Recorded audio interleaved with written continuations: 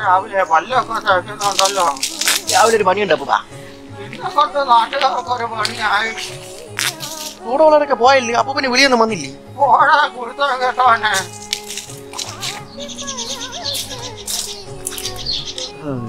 അനുരാഗിണി ഇതായും കരളിൽ വിരിഞ്ഞ പൂക്കൾ ഒരു രാഗമാലയായി ഇതു നീ കളിക്കുമ്പോഴൊരു സ്വസ്ഥതാടേ കലാവാസനില്ലാത്ത തെണ്ടിയത് ഡേ കൈ നോക്കാതെ കളിയുടെ. ആര് നോക്കുന്നു എന്റെ കയ്യ് അല്ലേലും ആവശ്യത്തിന് നല്ലതൊന്നും വരത്തില്ല. ഒത്തോടെ നീ ഇതെന്തോ സർപ്പോ? ചെറുപ്പം അങ്ങോട്ട് ഇറങ്ങി വരാതെ സമയമൊന്നും വേണ്ട. ഒന്നണക്ക് കളിയൊക്കെ എന്ന് പറഞ്ഞാൽ പണ്ട്. അന്നൊക്കെ എന്ന് പറഞ്ഞു കഴിഞ്ഞാൽ ക്ലബിൽ കളിച്ചിട്ടോ പതിനായിരം കാണും എന്റെ മുന്തിയിൽ വെച്ചോണ്ട് വരണത്. അറിയാമോ? കേട്ടിട്ടുണ്ട് കേട്ടിട്ടുണ്ട്. അതുകൊണ്ടല്ലേ റിസർവ് ബാങ്ക് രണ്ടാമത് നോട്ട് വേറെ അഴിച്ചിറക്കിയത് തളമ്പോ ഒന്ന് മയത്തിന് തളടേ അല്ല അത് പറഞ്ഞപ്പോഴാണല്ലോ ഓർത്ത് കഴിഞ്ഞ വട്ടത്തെ കളിയുടെ ഒരു ഇരുന്നൂറ്റമ്പത് രൂപ തരാണ്ടല്ലോ ഒറ്റ അടിയിൽ. കളഞ്ഞിട്ടപ്പോ തരൂലേ. അപ്പൊ അതും ഗോവിന്ദ. ഇതുവാടേ രാവിലെ തുടങ്ങിയോ? ആ ഇതാരെ? പി സി വേണു സാറോ. നിങ്ങൾ എത്തായിട്ടുണ്ടല്ലോ. ആഹാ. ഡ്യൂട്ടിക്കൊന്നും പോയില്ലേ സാറ്? ആ ഇപ്പൊ കാര്യമൊന്നും അറിഞ്ഞില്ലേ? സസ്പെൻഷനിൽ? പി സി രമണിക്ക് ലവ് ലെറ്റർ കൊടുത്തു. ആ ആൾ ചില്ലറക്കാരനല്ലല്ലേ? നാട്ടുകാരങ്ങനെ പലതും പറയും. ഇപ്പൊ നിക്കാൻ സമയമില്ല. എനിക്ക് മീൻ മേടിക്കാൻ പോണോ. ആ സാറേ മീൻ മേടിക്കാനാണോ? ഞാനും ഉണ്ട്. ഇപ്പൊ ഞാൻ മടക്കി. ആ പി സി വന്ന് കളിച്ചോണ്ടിരുന്ന അയാളെ കൂടെ വിളിച്ചു. ആ, വാട്ടടേ. ഇന്നലെ ഒരു സംഭവം നടന്നു. എന്തു? ഞാൻ ഡ്യൂട്ടി കഴിഞ്ഞ് വരണ വഴി എന്റെ ബൈക്കിന്റെ മുമ്പ് ഒരു സിംഹം. സിംഹം? സിംഹത്തിന്റെ അത്രയും വരണ ഒരു മരപ്പട്ടി ചാടി എന്റെ മുമ്പ്. എന്നിട്ട്? എന്റെ ഒറ്റ അലർച്ച. കേർപ്പോളാത്തത് പൂച്ചയെ പോലെ ആൾതാമസമില്ലാത്ത വീടില്ല? അവിടോട്ട് ഒറ്റ ഓട്ടം. എവിടെ? ആ കിളവി തൂഞ്ചത്തെ വീടില്ലടാ പുഴയുടെ അടുത്തുള്ള. അവിടെ. അതിന്റെ അകത്ത് ഓടിക്കാൻ ആ അങ്ങനെ ലാലു വന്നല്ലേ? എങ്ങോട്ട് കൊണ്ട രാവിലെ കുത്തിരി വീട്ടിൽ കുത്തിയിരുന്ന് മടുത്തരേ ഒരു പ്ലംബിങ്ങിന്റെ പണിയുണ്ട് അതിന് പോകും നീ വരുന്ന കരടി ഞാൻ വരുന്നില്ല. ഇതോടെ രണ്ടുപേരും ഉള്ള? ആ ഇന്നിപ്പോ രണ്ടുപേരും ഉള്ളടേ. പോയി. ഏയ് നീ ഒരു കാര്യം ചെയ്യ്. ഇവിടെ ഇരുന്നത് കളി. ഞാൻ എനിക്കൊന്ന് വിരുന്നുണ്ട്. കല്യാണം കഴിഞ്ഞല്ലേ ഉള്ളൂ. ഞാൻ പോകണം ഒന്നാമനെ സമ്മതിക്കൂല. കളി എങ്കി കളി. ഇറാ. ഇതൊക്കെ പോയിരിക്കുള്ള ഡേ നീ മരപ്പെട്ടി ഇറച്ചി കഴിച്ചിട്ടുണ്ട്? മടപ്പട്ടി എവിടെ സംഭവം സൂപ്പർ ഇറച്ചി സുമേഷ് ഇപ്പോൾ ഒരിടത്തുണ്ടെന്ന് പറയുന്നത് കേട്ടു. എവിടെ? ആ ആറിന്റെ കരയിലുള്ള കിളവി തൂങ്ങിച്ചെന്ന വീടില്ലേ? സാധനം അവിടെ ഉണ്ട്. ഉണ്ടാ? ആ. നമുക്കങ്ങ് പോയി പൊക്കിയാലും ഡേയ് ചുമ്മാ ചെന്ന് കയറി പിടിക്കാനൊന്ന് കോഴിയാ. അതൊക്കെ പിടിക്കണമെങ്കിൽ അറിയാന്നുള്ള ആരെങ്കിലും കൂടെ വേണം കേട്ടോ? എന്താ ചെയ്യും? ഡേയ് എന്റെ അറിവിൽ ഇതുപോലത്തെ സാധനങ്ങൾ പിടിക്കാൻ ഇവിടെ ഒരാളേ ഉള്ളൂ. ആരെന്നറിയാം? ബാബു ആശ എന്നാ ഇപ്പൊ തന്നെ നമുക്ക് അയാളെടുത്തോട്ട് വിട്ടാലും? എന്തായാലും മണിക്കുമല്ല ബാബുവാ.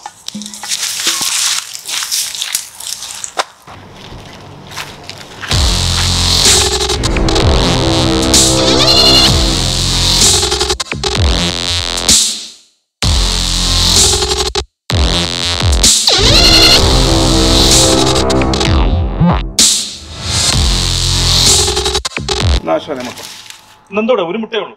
ഇതേ ഉള്ളൂ. ഇത് ചേച്ചി അപ്പുറത്ത് കടം മേടിച്ചോണ്ട് വന്നു. ഉടുമ്പ് സൂപ്പ് അവിടെ ഉടുമ്പിനെ കിട്ടിയില്ല സൂപ്പ് വയ്ക്കാൻ ഉടുമ്പും കിട്ടിയില്ല ഒരു മുട്ടയേ ഉള്ളൂ.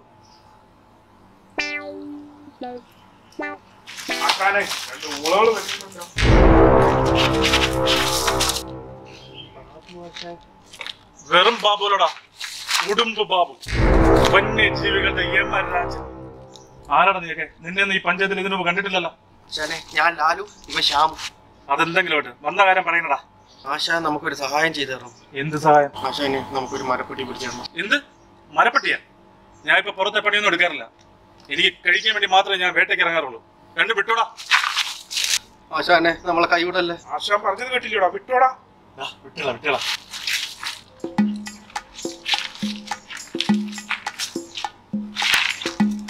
ആശാനെ എങ്കിൽ നമ്മളൊരു സത്യം പറയാം. എന്ത് സത്യം? ഇവന് മൂലക്കുരുവിന്റെ അസുഖമുണ്ട് സത്യമാണോടാ?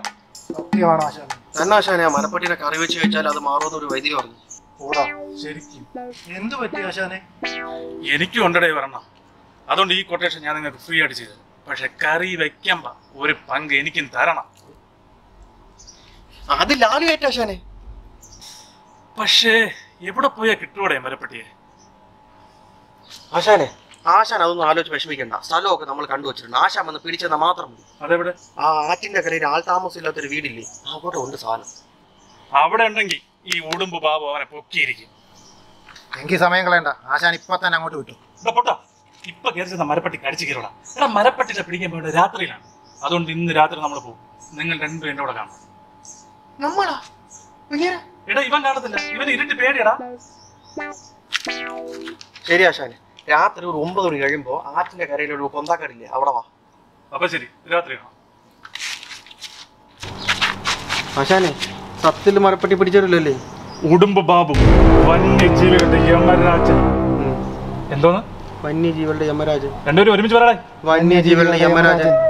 ആ. അളിയാ കരടി. എന്തോ നില അവിടെ വെളുത്തവാ. അല്ലേലും അത്യാവശ്യത്തിന് കറുത്തവാ വരത്തില്ല. ഇവിടെ വല്ല പാമ്പോലും കാണുമോ പേടിപ്പിക്കാതെ. ഈ ഒമ്പരയ്ക്ക് അവിടെ ആശ അവിടെ പോയി? ഒരു അനക്കം കേൾക്കുന്നു നല്ല മരപ്പെട്ടി തന്നെ. അല്ല ആശ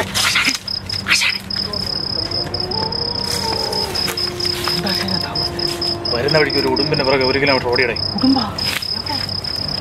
ഉടുമ്പിന്റെ പാട്ടിന് പോയി. ഉടുമ്പ് പോയെങ്കിൽ എന്ത്? നമുക്ക് മരപ്പെട്ടി പിടിക്കാം. വാ. മരപ്പെട്ടി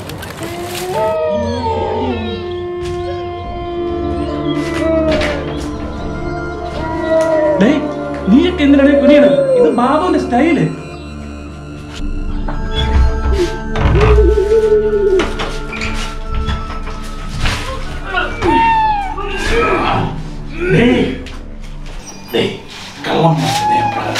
മുൻപാത വഴിയല്ല നമുക്ക് പിന്നാമ്പുറം വഴിയാണ്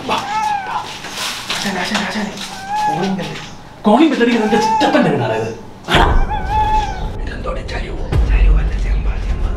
താമസം ഇല്ലാത്ത വീട്ടിലാണ് കോളിംഗ് ബെല്ല്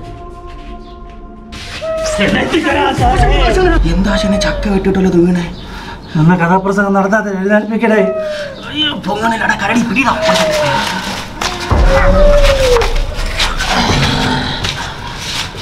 എന്ത് പറ്റിയ ആശാനെ ഇന്ന് ഉടുമ്പിന്റെ ചോര കിട്ടിയില്ലേ അതുകൊണ്ട് കൈയും കാലും ഉറക്കില്ല.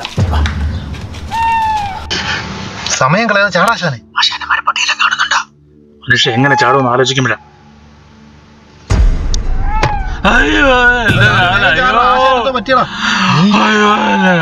വാദത്തിന് വാദത്തിന് അസ്കിതളകാനുണ്ട് ഈ കുഴമ്പ് ഒന്ന് തടപടേ എങ്ങനെയുണ്ട് ഇപ്പൊ ഒരു ആശ്വാസം ഉണ്ടോടെ? എങ്ങനെയുണ്ട് ആശാനെ? ചെറിയൊരു ആശ്വാസം വാ. ഇനി നമ്മുടെ ഓരോ നീക്കവും ശ്രദ്ധിച്ചായിരിക്കണം. മരപ്പട്ടി ഏത് നിമിഷവും നമ്മുടെ മേൽ ചാടി വീഴും. അയ്യോ ആശാൻ എനിക്ക് പേടിയാവും ആശാനെ മരപ്പട്ടി കടിക്കോ? ഇല്ലടാ പിടിച്ച് ഉമ്മ വയ്ക്കും. ഉടുമ്പു ബാബു വന്യജീവികളുടെ യമരാജൻ. കേറി പാടാം ആ വലിച്ചേരി ഒട്ടിരിക്കായിരുന്ന വെള്ളം വന്യജീവി? എടാ കരടി ഇത് മറ്റേ കിളവിയുടെ മുറിയാണെന്ന് തോന്നുന്നു. ഫോണാടാ ആശാനെ ഇത് വലിയ ബ്ലംഗ്ലാവാട്ടാ ആ കൊറേ മുറിയുണ്ടാ നോക്കി ആശാനെ. ആശാനെ ഒന്നും മിണ്ടാതെ വരീനടാ. ശരി ആശാനെ. എടാ ഇങ്ങോട്ട് വാ. ആ ഒരു ആയുധം കിട്ടി. ഇത് കയ്യിൽ വെച്ചു. ഇതെന്തിനാ ആശാനെ? കൊട്ടിയും കോലും കളിക്കാൻ. എടാ മരപ്പെട്ടി കാണുമ്പോ അതിന്റെ തലക്കിട്ടടിക്കാനാണ്. മണ്ടായി. എന്തോടെ കൈകാലം വരയ്ക്കുന്നത് എന്നെ പോലെ ധൈര്യത്തിലടേ ആശാൻ ഇവിടെ മരപ്പെട്ടി ഉണ്ടോ തോന്നുന്നു. മരപ്പെട്ടിയുടെ നല്ല മണം. എടാ പൊട്ട ഇത് മരപ്പട്ടിയില്ല. പെരിച്ചഴിച്ചാ തുടങ്ങുന്നതാ. ആശാനെ ഈ പെരിച്ചായനെ മരപ്പെട്ടി തിന്നിട്ട് ബാക്കി വെച്ചാണോ? എടാ പൊട്ട മരപ്പെട്ടി മരം മാത്രമല്ലേ കഴിയും. അതുകൊണ്ടല്ലേ അതിനെ മരപ്പട്ടി എന്ന് വിളിക്കുന്നത്. ഡേയ് ഇനി എല്ലാ മുക്കും മൂലയും നമുക്ക് അരിച്ച് പറക്കണം ആശാനെ അതിന് അരിപ്പെടുത്തില്ല നമ്മൾ അരിപ്പെടുത്തിട്ട് കേട്ടാ ഓ യൂമാരെ കൊണ്ടാണല്ലോ ഞാൻ വന്നത്. കേറി വരണടാ അളിയ എന്തോന്നിട്ടെടുത്തിട്ട് അരിക്കും? അയാളുടെ ലുങ്ക എടുത്തായിരിക്കുമായിരിക്കും ലക്ഷണം കണ്ടിട്ട് ഈ മുറിയിൽ മരപ്പട്ടി നമുക്ക് വേറെ നോക്ക്. ആ. ആശാനെ ആശാനെ പാട്. ഏ? പാടാനാ? ചെപ്പടിക്കുന്നിൽ ചിന്നി ചിന്നുങ്ങും ചക്കരപ്പൂവേ. ചെന്നായ മമ്മി അങ്കിൾ ബഗേരിയും ചേടുന്നു നിന്നെ. കാടും കുഞ്ഞെ നീ ആശാനെ. തേടിപ്പോ. പാടാനല്ല പറഞ്ഞത്. പിന്നെ? മരപ്പെട്ടിയുടെ കാൽപ്പാട്. മാറങ്ങോട്ട്. ഒന്ന് രണ്ട് മൂന്ന് നാല്. കരടി ദേ ഫാന് ഈ ഫാനിലാണെന്നാണ് കിളവി തൂങ്ങിച്ചത് അപ്പൊ കിളവിയുടെ പ്രേതം ഇവിടെ ഉണ്ടോ? ആ മണി പത്ത് പത്തരയായില്ലേ. ഉണ്ട്. എന്നാ വന്നേണ്ട. ആ ഇതുവരെ വന്നേലേ നമുക്ക് മേലിൽ കൂടെ തപ്പിയിട്ട് പോടാം. ആശാനെ ഈ മരപ്പട്ടി പടിയേറി മേളിൽ പോകും ഒന്നും മിണ്ടാതെ കയറി വാടാ. ഈ പടി കയറുമ്പോ തന്നെ ആശാന്റെ മൂലക്കുരു പൊട്ടു. ആ അത് മിക്കവാറും പൊട്ടു. നിന്റെയും പൊട്ടു. ശബ്ദം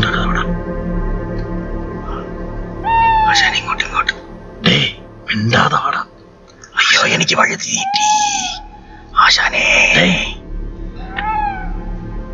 ആശാനെ അതാ ഒച്ചപ്പാടുണ്ടാവില്ല ആശാൻ കയറും ആശാൻ കയറും ആശാൻ പോയി ആശാൻ പോയി. നീ പോ നീ പോ നീ പോ. എന്തെങ്കിലും ഉണ്ടെങ്കിൽ വിളിച്ചത് ഞാൻ ഇവിടെ തന്നെ കാണും കേട്ടാ. ഇവിടെ വേറെ ഒരിടം ഇല്ലാത്ത സ്ഥിതി. അത് ഈ കോണിപ്പടിയുടെ ഇടയിൽ വിളിച്ചിരിക്കുക മിണ്ട. ഇതിന്റെ അടിയിൽ തന്നെ ഉണ്ട്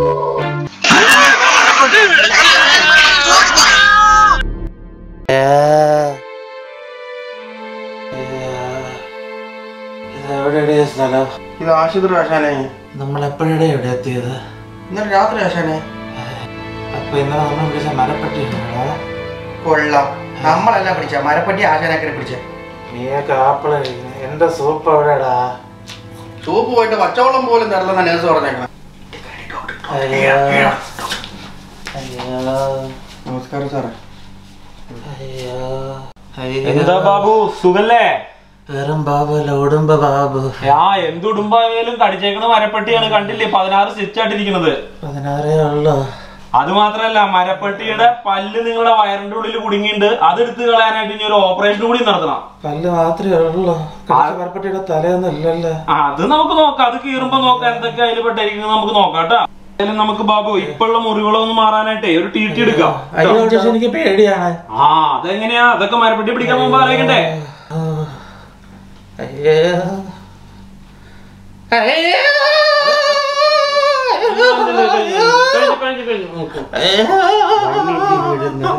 തടവി കൊടുത്തേ. അതാ ഇത്ര നേഴ്സുമാരും ഇല്ല ഡോക്ടറെ. നേഴ്സുമാരൊക്കെ നിങ്ങളുടെ ഈ രൂപം കണ്ടൊക്കെ ഓടി വിളിച്ചു. ഡോക്ടർ സാറേ കൊറേ നേരമായിട്ട് പിടിച്ചുകൊണ്ടിരിക്കുന്നത് തൂക്കിയുടെ സ്റ്റാൻഡൊന്നും ഇല്ല അത് ചുമ്മാ അവിടെ പിടിച്ചു നിക്കടേ. ഇത് സർക്കാർ ആശുപത്രിയായിട്ട് കണ്ടില്ലേ? ടിവിയും കാര്യങ്ങളെല്ലാം നമ്മൾ തന്നിട്ടില്ലേ? അതെല്ലാം കണ്ട് എൻജോയ് ചെയ്ത് ഇരിക്കുക കേട്ടാ ഓക്കെ ഡോക്ടറെ ആ. ഞങ്ങളുടെ ആശാനെ എന്ന് വീട്ടിൽ കൊണ്ടുപോകാൻ പറ്റും ഡോക്ടറെ. വീട്ടിലാ? നിങ്ങൾ മൂന്ന് പേരും പോലീസ് കസ്റ്റഡിയിലാണ്. ഇയാൾ പോലീസ് കസ്റ്റഡിയുടെ ചികിത്സയിലുമാണ്.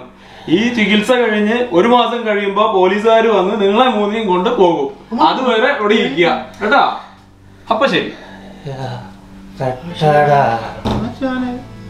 അടുത്ത കാലത്ത് വീട്ടിൽ പോകാൻ പറ്റത്തില്ല.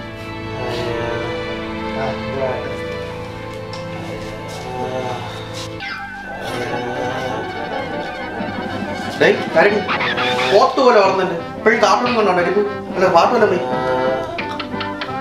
നമസ്കാരം. യു ന്യൂസ് അവറിലേക്ക് സ്വാഗതം. വാർത്തകൾ വായിക്കുന്നത് വീണ. കുപ്രസിദ്ധ കുറ്റവാളിയും വേട്ടക്കാരനുമായ ഉടുമ്പ് ബാബു ഇന്നലെ രാത്രി മരപ്പട്ടി വേട്ടയ്ക്കിടയിൽ പോലീസ് പിടിയിൽ. ഇയാളോടൊപ്പം രണ്ട് സഹായികളെയും പോലീസ് അറസ്റ്റ് ചെയ്തു. തലയ്ക്ക് പതിനായിരം രൂപ വിലയിട്ടിരുന്ന പ്രതിയെയും കൂട്ടാളികളെയും എസ് ഐ ശംഭുവും സംഘവുമാണ് പിടികൂടിയത്. എസ് ഐ ശംഭു ഇപ്പോൾ നമ്മളോടൊപ്പം ടെലിഫോൺ ലൈനിൽ ചേരുന്നു. സർ എപ്പോഴായിരുന്നു ഈ സംഭവം? എങ്ങനെയാണ് അവരെ പിടികൂടിയത്? ഇന്നലെ രാത്രിയിൽ പത്തരയോട് കൂടി എനിക്കൊരു ചെറുപ്പക്കാരന്റെ ഫോൺ കോൾ വന്ന പ്രകാരമാണ് ഞാൻ സംഭവ സ്ഥലത്തെത്തുന്നത്. ആൾതാമസം ഇല്ലാത്ത വീട് പൊളിച്ച് വീട്ടിൽ പ്രവേശിച്ച ഉടുമ്പ് ബാബു നേരിട്ട് കൊണ്ടിരിക്കുന്ന മരപ്പട്ടിയെ വേട്ടയാടാൻ ശ്രമിക്കുന്നതിനിടയിൽ ഉടുമ്പ് ബാബുവിന് മരപ്പട്ടിയുടെ ആക്രമണത്തിൽ ഗുരുതരമായി പരിക്കേൽക്കുകയായിരുന്നു. ഒപ്പം ഉണ്ടായിരുന്ന രണ്ട് കൂട്ടുപ്രതികൾ കുതറി മാറിയതുകൊണ്ട് നിസ്സാര പരിക്ക് മാത്രമേ അവർക്കുണ്ടായിരുന്നുള്ളൂ. മൂന്ന് പ്രതികളെയും അപ്പോൾ തന്നെ അടുത്തുള്ള ജനറൽ ആശുപത്രിയിൽ എത്തിക്കുകയായിരുന്നു. സർ ഇവർക്കെതിരെ ഏതൊക്കെ കേസുകളാണ് ചാർജ് ചെയ്തിരിക്കുന്നത്? ഇവർക്കെതിരെ ചുമത്തിയിരിക്കുന്ന വകുപ്പുകൾ ആൾതാമസമില്ലാത്ത വീട് അതിക്രമിച്ച് കിടക്കൽ. ഐ പി സി നാനൂറ്റമ്പത്തേഴ്. അഞ്ച് വർഷം വരെ തടവും ഒരു ലക്ഷം രൂപ വരെ പിഴയും ലഭിക്കാവുന്ന കുറ്റമാണ്. ഒപ്പം ഫോറസ്റ്റ് ആക്ട് ഫിഫ്റ്റി വൺ പ്രകാരം മരപ്പട്ടിയെ പിടികൂടാൻ ശ്രമിച്ചതിന് മൂന്ന് മുതൽ ഏഴ് വർഷം വരെ തടവും പതിനായിരം രൂപ വരെ പിഴയും ഇവർക്ക് ലഭിക്കാവുന്നതാണ്. പ്രതികളിൽ ഒരാളായ കരടി എന്നറിയപ്പെടുന്ന ശ്യാം എൽ ഐ അന്വേഷിക്കുന്ന കൊടും ഭീകരന്റെ രേഖാചിത്രവുമായി മുഖസാക്ഷ്യം ഉള്ളതുകൊണ്ട് ഇയാളെ ശിക്ഷ കഴിയുന്ന മുറയ്ക്ക് എൽ ഐക്ക് കൈമാറുന്നതാണ്. ഈ കൊടുങ്കറ്റവാളികളെ പിടിക്കാൻ നിർണായക തെളിവുകൾ നൽകിയ ചെറുപ്പക്കാരൻ ശ്രീ സുമേഷ് നമ്മളോടൊപ്പം ലൈവിൽ ചേരുന്നു. പ്രതികളിൽ ഒരാളായ ലാലു മരപ്പറ്റിയെ പിടിക്കുന്നതിനിടയിൽ അതിന്റെ കടിയേറ്റെന്നും ആരും അറിയാതെ ആംബുലൻസ് അയക്കണമെന്ന് ആവശ്യപ്പെടുകയായിരുന്നു. കുറ്റകൃത്യങ്ങൾ ചെയ്യുന്നവരോട് എനിക്ക് പണ്ടും അറപ്പും വെറുപ്പുമാണ്. അതുകൊണ്ട് തന്നെ ഈ വിവരം അപ്പോൾ തന്നെ ഞാൻ എസ് ഐ ശംഭു സാറിനെ വിളിച്ച് കാര്യം അറിയിക്കുകയായിരുന്നു. താങ്കൾക്ക് പ്രതികളെ മുൻപരിചയം ഉണ്ടായിരുന്നു പിന്നെ ആ, അല്ല എന്ന് പറഞ്ഞാൽ ഞാൻ നാട്ടിൽ അവിടെ ഇവിടെയൊക്കെ വെച്ച് കണ്ടിട്ടുണ്ട്. പക്ഷേ ഞാൻ കാണുമ്പോഴൊക്കെ അവന്മാരുടെ അടുത്ത് മാന്യമായി മാന്യമായിട്ട് വല്ല ജോലിയും ചെയ്ത് ജീവിക്കാൻ. താങ്കളെ മുഖ്യമന്ത്രി നേരിട്ട് അഭിനന്ദനം അറിയിച്ചതായി അറിയാൻ കഴിഞ്ഞു. ശരിയാണോ? ശരിയാണ്. എന്റെ ബഹുമാനപ്പെട്ട മുഖ്യമന്ത്രി നേരിട്ട് വിളിച്ച് ആശംസകൾ അറിയിച്ചിരുന്നു. ഒപ്പം പാരിതോഷിക തുകയായ പതിനായിരം രൂപ നൽകാമെന്നും ഒരു ഗവൺമെന്റ് ജോലിയും വാഗ്ദാനം ചെയ്യുകയുണ്ടായി. ഈ തുക എന്ത് ചെയ്യാനാണ് താങ്കൾ ഉദ്ദേശിക്കുന്നത്? ഈ പതിനായിരം രൂപ എനിക്ക് മരപ്പട്ടികൾ നേടിത്തന്നതാണ്. അതുകൊണ്ട് ഈ പണം ഞാൻ വംശനാശം നേരിട്ടുകൊണ്ടിരിക്കുന്ന മരപ്പട്ടികളുടെ ചികിത്സയ്ക്കും മറ്റാവശ്യങ്ങൾക്കും വേണ്ടി ഫോറസ്റ്റ് ഡിപ്പാർട്ട്മെന്റിന് കൈമാറാനാണ് ഉദ്ദേശിക്കുന്നത്.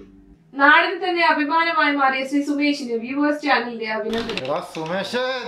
മറ്റു വാർത്തകളിലേക്ക് കേരളത്തിൽ മഴ കനക്കുന്നു. മൂന്ന് ജില്ലകളിൽ അപ്പോഴെന്നെ കുറെ കൊല്ലത്തേക്ക് ഉള്ളിൽ തന്നെ അല്ലേടെ? അല്ല ഡൽഹിയിലുള്ള ഏതോ വലിയ ടീമാണെന്നാ തോന്നുന്നു. ഡൽഹിയോ? എടാ എനിക്ക് എന്തെങ്കിലും പറ്റി? എന്റെ ഭാര്യ രണ്ട് മക്കളെ ആര് നോക്കോടെ ആശാന്റെ മക്കളെ ഞാൻ പൊന്നുപോലെ നോക്കിക്കോളാം. അങ്ങനെയാണെങ്കിൽ ആശാന്റെ ഭാര്യയെ ഞാൻ പൊന്നുപോലെ നോക്കാം. അന്നാണ്? എന്താ ആശാന്? അത് പറഞ്ഞപ്പോ ആശ വന്യജീവികളുടെ എന്തോന്ന് പറഞ്ഞേ? രാമരാജൻ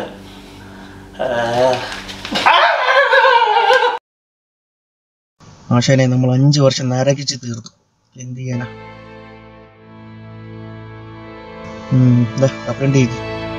വേണ്ടടാ. ഗർഭിണിയായ കാട്ടാനെ കൊന്ന സംഭവത്തിൽ ഒന്നും രണ്ടും പ്രതികൾ ഒളിവിൽ പൈനാപ്പിളിനുള്ളിൽ സ്ഫോടക വസ്തു നിറച്ച കാട്ടുപന്നിയെ വേട്ടയാടാൻ ശ്രമിക്കുമ്പോഴാണ് വിശന്ന് വലഞ്ഞു വന്ന കാട്ടാനെ പൈനാപ്പിൾ ഭക്ഷണമാക്കിയത്. വാഴ തകർന്ന കാട്ടാനെ പിന്നീട് കൊല്ലി ചരിനിലയിൽ വനപാലകൾ കണ്ടെത്തുകയായിരുന്നു. ആനയുടെ പോസ്റ്റ്മോർട്ടത്തിന് ശേഷം വനപാലകൾ സോഷ്യൽ മീഡിയയിൽ പോസ്റ്റ് ചെയ്ത ആ കുഞ്ഞു ആനയുടെ ചിത്രങ്ങൾ കേരളത്തിൽ മാത്രമല്ല ഇപ്പോൾ ഇന്ത്യൻ ജനതയെ തന്നെ മൊത്തത്തിൽ കണ്ണീരിൽ ആഴ്ത്തിയിരിക്കുകയാണ് ആശാനെ പാവം ആ കുട്ടിയാണ് ആശാൻ ഒന്ന് ചിന്തിച്ചു നോക്കി ആശാൻ ഇതുവരെ കൊന്നു തള്ളിയ വന്യജീവികളുടെയൊക്കെ വയറ്റിൽ ഇതുപോലെ ഒരു കുഞ്ഞു ജീവൻ ഉണ്ടായിരുന്നല്ലേ? പക്ഷെ ഇതൊക്കെ മനസ്സിലാക്കി നമുക്ക് അഞ്ചു വർഷം ജയിലിൽ കിടക്കേണ്ടി വന്നു. ഇനി മുതൽ ഉടുമ്പ് ബാബുലട വെറും ബാബു. സഹജീവികളെ സ്നേഹിക്കുന്ന വെറും ബാബു. ഉം ആശാനെ വിഷമിക്കാതെ. ആ. എടാ ലാലു.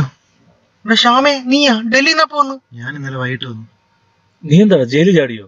ഇല്ല ആശാനെ അവർക്ക് മനസ്സിലായി ഞാനല്ല പ്രതിയെന്ന്. അങ്ങനെ അവരെന്നെ വെറുതെ വിട്ടു. അവരെന്താ എന്നോട് ചോദിച്ചേ?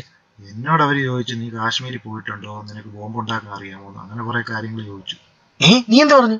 ഞാൻ പറയും കാശ്മീരിൽ പോയിട്ടുണ്ടോ? നീ എപ്പോ പോയി? നമ്മൾ പാലോടുള്ള ആ കാശ്മീരി തട്ടുകടയിൽ പോകത്തില്ലേ? പൊറോട്ടയും ബീഫും തിന്നാൻ. പരാജയമാണല്ലോടാ. ആശാനെ ഇവനെ വണ്ടി കൂലിയും കൊടുത്ത് പറഞ്ഞോട്ടാ തോന്നുന്നു. ഇവിടെ ഇരി. ആ. ആശാനെ നമുക്കിനി വല്ല മാന്യമായിട്ട് തൊഴിലും ചെയ്ത് ജീവിക്കാം. അതാണ് നല്ലത്. അതേടാ. ജയന്റെ റോക്കറ്റ് ഉണക്കി കഴിഞ്ഞു പോയൊരായിരുളിൻ ദിനങ്ങൾ മറന്നേക്കൂ നല്ലൊരു നാളെ കണി കണ്ടുണരാ